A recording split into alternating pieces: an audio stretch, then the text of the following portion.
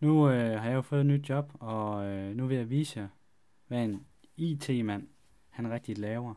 Så øh, jeg demonstrerer lige hurtigt, hvad det er, jeg kommer til at lave på det nye job. Så følg lige med her. Jeg skriver hello include mellemrum mindre end avr-io.h større end tegn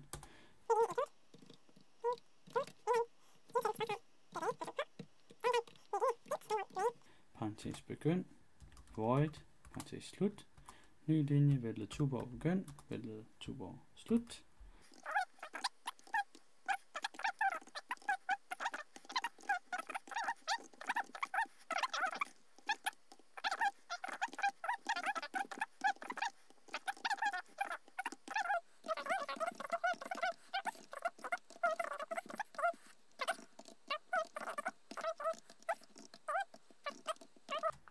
Hexadecimal 01, semikolon.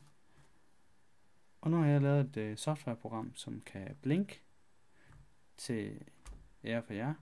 Og uh, så vil jeg også lige demonstrere det ved at programmere et print. Uh, mit board, som jeg skal programmere, det er lige her. Og det er inde i den der, jeg lægger noget software. Så nu trykker jeg lige på en knap her på computeren med det her fine program her, jeg har lavet.